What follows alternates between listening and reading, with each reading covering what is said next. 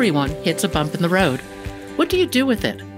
Be inspired as we explore the ways people experience, navigate, and manage the ups and downs and twists and turns in this road trip called life.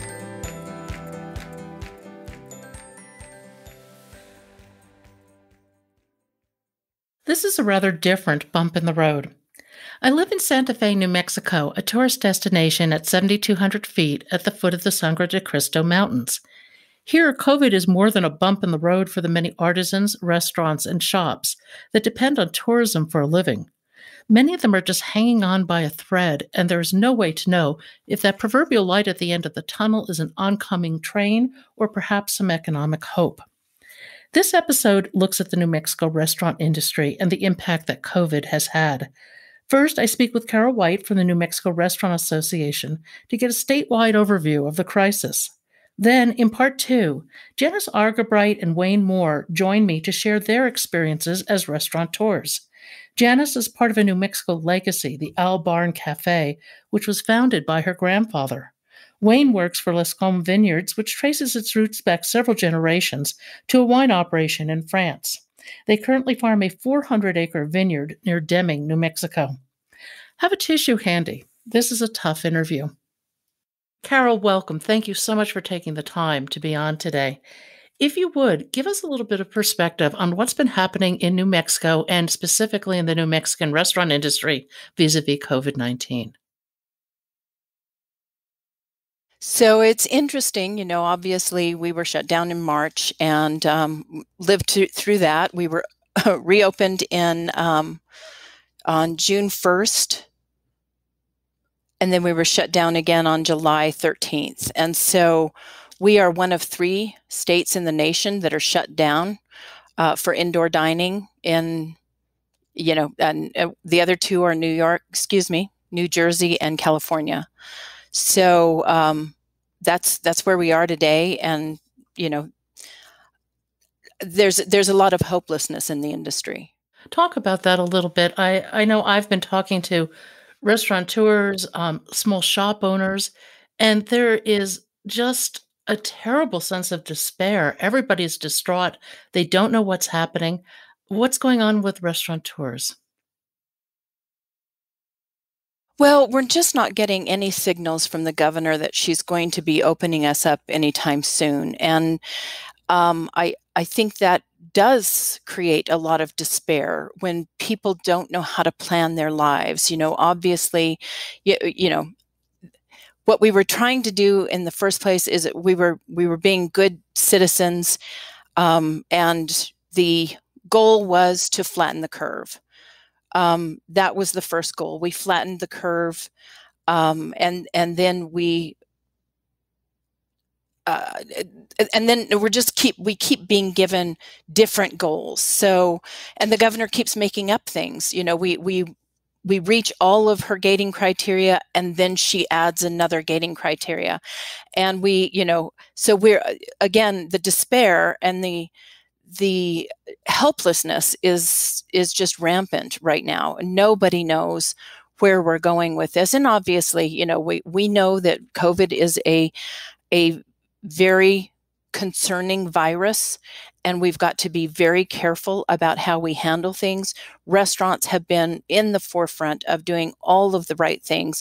You know, for one thing, um, we all have food safety training, and we've got to have that in New Mexico in order to um, in order to have a restaurant, you have to have somebody on site that has food, food safety training.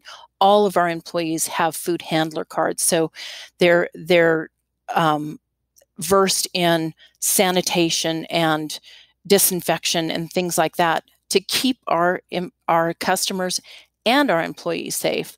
So, you know, you, uh, and then you layer on, now we've got COVID safe practices that we have been layering into what we do. And as a matter of fact, I was on a, a webinar the other day with the CDC, and they said, you know, you don't necessarily have to do all of the things that this CDC says, but as many layers as you can put on of you know mask wearing and social distancing and you know things like that that that are those covid safe practices the more layers you can put on the more um, safe the general public and your your employees will be. So you know so that's something we've been doing and we've been doing it for years and years and now we have a few more layers of those things it's not hard for restaurants to do that we can do that um, and and we have been doing that so we don't understand why our governor would be one of uh, you know 47 other governors have figured out how to open up restaurants and new mexico can't quite figure that out. There's a sense in the restaurant industry that it's been singled out in a way. Would you agree with that? Yeah. I would, without explanation. She singled us out, which we have a lawsuit right now um, that's going to be coming up in the Supreme Court next week, and that that lawsuit basically says that the governor is being arbitrary and capricious in her choices um, you know and and that goes all the way down to the retail sector as well you know i mean she um, with uh, you know opening up the big box stores and not allowing small stores to open even with different capacities. You know those kind of things just show that it was it was completely arbitrary. There's there's really no science behind it.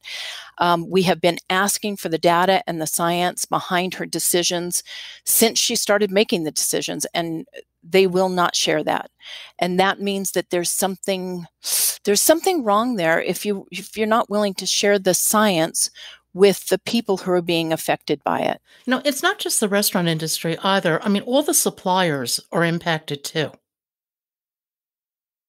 Oh, you know, um, one of my biggest heartfelt moments um, was when one of my board members um, called me up and said, "I've lost my job." And he's a, he's in the supplier business, you know, and he's been there for I think 15 years. And, you know, obviously the other heartfelt moments were when I was listening to restaurateurs talk about the hundreds of people they had to lay off. I mean, that obviously, you know, 35,000 employees that are not working right now and and possibly not going to have jobs to go back to if we don't get open very soon. Um, but yeah, so it's it's across the spectrum. It's not just restaurants; it's the whole food service industry in New Mexico. Now, um, I'm in Santa Fe, which is um, a, a bit of an island relative to a lot of New Mexico, but we're almost entirely dependent on tourism. What do you hear from the New Mexico restaurants up here in Santa Fe, where the tours are gone, the locals may or may not be eating out, and nobody knows what the future holds? Well, I have to say, I think your mayor is being brilliant because he's really proactively dealing with this. He's um, he he figured out early on that you guys are dependent on on tourism, and therefore he's going to um, make sure and cut back on services from the city just because he's not going to be able to pay for it if he doesn't have the money from tourism. And, um, you know, I'll remind people that um, in New Mexico, our gross receipts tax is um, charged on restaurant meals, but it is not charged on on uh, groceries.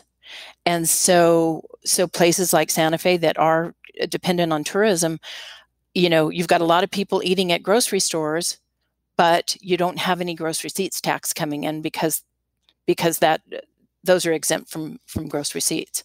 You know restaurants are a really low margin business. Um, as a matter of fact i've heard numbers that it's about a 5% margin business which really stunned me. Um, one what are the margins? And how do how does a restaurant manage to weather months month after month of being closed i mean from a financial perspective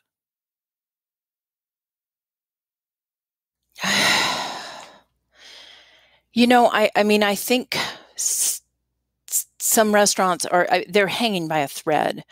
They've used up all their savings. Um, they've used up all of their payroll protection loans. They may have an EIDL loan or some other loan out there, but but they're having to pay those back on a you know regular basis, and they don't have the money to do that. You know, I thought it was interesting that the um, the governor and the and the state came up with these loans um, from the finance authority. And and it's over a hundred million dollar in dollars in loans but the loans are um, four-year loans at a very low interest rate but you've got to pay them back in four years. And we don't we don't really expect to be out of this as far as restaurants go in the next four years. And just to just to reiterate what you said about the margins in restaurants you know a restaurant's doing really well if it can if it can bottom line 10% and that's you know before taxes. Um, a restaurant most restaurants in new mexico are probably making around 5% that means and and the other thing about this is and you got to think about this is that 95% of those sales go back into the community through payroll through suppliers through other things. So the you know and then if there's 5% left in those lo- lo- local restaurants that restaurateur is living there in the community and putting it back into the community. So um, it's not you know it's not a big money making venture. I don't if if anybody gets in into the restaurant industry to make money um, good luck. But um, you know they say it, uh, there's an old joke you know how do you make a million dollars in a restaurant? And the uh, answer to that is you start with two.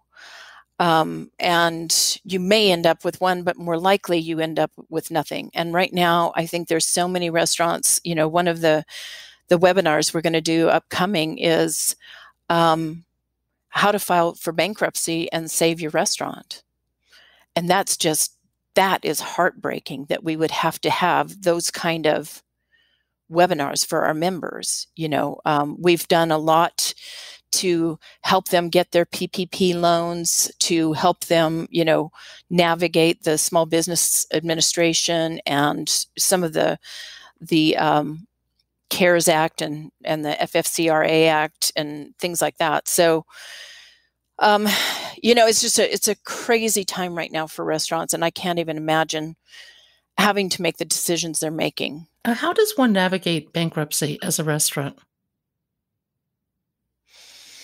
I'm mm-hmm. not a mm-hmm. lawyer, um, and I think part of it is, you know, uh, deciding which kind of bankruptcy. You know, do you do you file for Chapter Seven, Chapter Eleven? And honestly, I don't even know too much about that. What we do when we do webinars for folks is we'll bring in um, a lawyer that is a bankruptcy lawyer and uh, an expert on that. So you know, and and give them that expert advice. Yeah, because it, it, seems to me, even if you could go through bankruptcy, save some of your assets with the idea you might be able to open again in the future. And again, I'm not a lawyer either. It's still, there's so much chance and risk right now in not knowing what the future holds um, how does one try to make plans to say i'll reopen in a year or 18 months is that even doable so i'm i'm kind of likening it to um, opening a brand new restaurant so when you open a restaurant usually you have some capital behind you that you that you live on because it's hard to get your controls underfoot in the first two or three years. Um, so you're you have some extra capital from whatever loans you took out or from your life savings that you saved uh, to open up a restaurant. Um, but right now, I th- that's my fear is that these folks don't have that. Um, that, that reserve, that financial backup, yeah. the reserve, right, right, and yeah. So they don't have that to continue. So they're almost like opening up a new restaurant without any reserves. And, you know, I mean, again, there's a saying in the restaurant industry, you know, for every five restaurants that open, uh, four will close in the first five years. And so I think we've got that to, and I, I don't want to say look forward to, but I think that's what we're going to be looking now, at. Some restaurants are very innovative and they're pivoting into different business models. Have you seen any business models that kind of catch your eye? And where do you think that this will lead in terms of the future of the local restaurant industry? So I've heard from a lot of restaurants that are like, why didn't I put in a drive-through window? Right? Um, that's just like uh, because the restaurants that have drive-throughs are doing fairly well right now. Um, you know that's where people feel safe going out to eat, and that's where the governor has lo- allowed us to to uh, be open and and just the convenience of having a drive-through rather than having to stop and take out from someplace is interesting. I uh, couple of restaurants have put in drive-through windows number one number two um, i have heard of, of some rural restaurants that have put in small grocery areas in their restaurant and they're doing very well as a matter of fact i talked to one in tucumcari um, a couple of weeks ago and she said she said carol we will never not do groceries again. She said that this is a part of what we will continue to do. Because in those rural areas, I mean, think about it, they don't have a lot of grocery capability. Number one. Number two, um, you know, for a while there, they couldn't get toilet paper in grocery stores, but we had uh, suppliers that supplied to restaurants that did have grocery, uh, did have toilet paper. So, um, so we were able to get toilet paper when grocery stores were not and and same with disinfecting i mean we have warehouses full of disinfecting solutions et cetera. they're in they're in gallon bottles um, they're in restaurant packs but um, people that's really what people were looking for is is you know just give me the give me the way to disinfect my home. And so um, so I, I think that's another way people have pivoted is having small grocery stores grocery capabilities. And then you think about wait one, one other thing. There are especially in new mexico we have uh, what they call uh, food deserts and what that is is where a place where you really can't get fresh food you can't get fresh produce anywhere. You know, the closest place to you might be a convenience store and they might have some lemons and limes and a few other things, but they're not going to have a big grocery section with fresh produce. Um, and you know so all the grocery stores have gone out of business. There's one walmart but it's you know 50 miles away. Um, and so i think restaurants are seeing that they're more rural they're more spread out and they can be this kind of grocery um, fresh produce place for people in their communities. And what about fine dining? Where is that going to go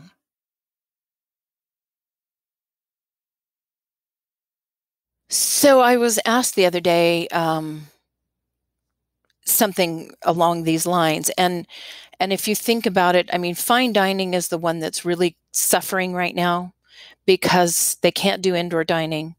They, you know, the thought of bringing home a $32 steak and eating it from a cardboard and or um, foam uh, box just that's hard one so a lot of them have shut down a lot of them are are trying to wait this out rather than rather than try to bend over backwards and be something different than they are. So um, again, though, you know they've got bills that are going ongoing, and this is the problem: is that they've got um, their overhead, uh, you know, utilities, rent, um, other costs that you know, insurance, other things that don't stop. Even if they close their doors, those things don't stop. And therefore, they've got to have some kind of income coming in or they've got to have deep pockets. You know, I, I don't think any of us know how this is going to evolve, but what I'd love to do is in a year or so, regroup, get together again, and talk a little bit about how far we've come, hopefully in a really good way, and where things are going again, because I think this will have a long term impact on how we view restaurants, how restaurants view uh, um, their customers, I, I think this is a game changer uh, for an American public that spends a lot of money eating out. I do too, and and and if you think about it, um, last February, uh, restaurants were fifty percent of the food dollar. So people were spending about half of their money in restaurants and half at grocery stores. Obviously, that's changed. I don't have the, the exact numbers, but it's uh, significantly less. It took us a long time to get to that point, um, you know, where people were spending that much money in, in restaurants. And so we'll see, you know, we'll see where the new uh, frontier takes us. But I think there's going to be a lot of pent up demand. I think people are really going to want to eat in um, restaurants when this all is over. Um, and who knows when that will be. Um, hopefully, the pent up demand will bring back restaurants in a way that, in a way that they were prior to to this um, virus I, I, think over. we all miss our local restaurants. We miss getting together. We miss socializing. Uh, we, we, we miss it all. Um, and I think that uh, when everything reopens, we should all make it a point to put dining out uh, first on our must do list. Well, I certainly hope so, and I think travel is going to be one of those things as well. I mean, you know, um, I, I think it's very hard at least for me not to go somewhere right? I really want to travel and and honestly my my husband and i have been getting out in new mexico a lot um, but you know um, we have kids spread out across the country and we're really dying to go see them and and be with them. So um, and I think other people feel that way. And and obviously in Santa Fe, you know, you guys uh, do rely on tourism and tourists. I actually was going to bring a big group to Santa Fe this uh, this summer, and uh, we have plans to bring it the group next summer. So fingers crossed, we're all over this, and and we can get back to some of the travel that we've been been used to doing over the last few years. Here, here, to, to travel to restaurants and to having fun again. Yes, absolutely.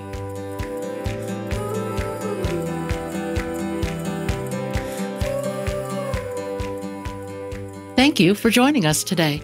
I hope you found something in today's podcast that inspires you along your own life path, because sometimes a bump in the road is actually a portal into a more conscious and meaningful life. Bump in the Road is a production of Cancer Road Trip. Subscribe to the podcast, follow us on social media at Cancer Road Trip, and you can learn more at www.cancerroadtrip.com. Until next time, be safe and be well.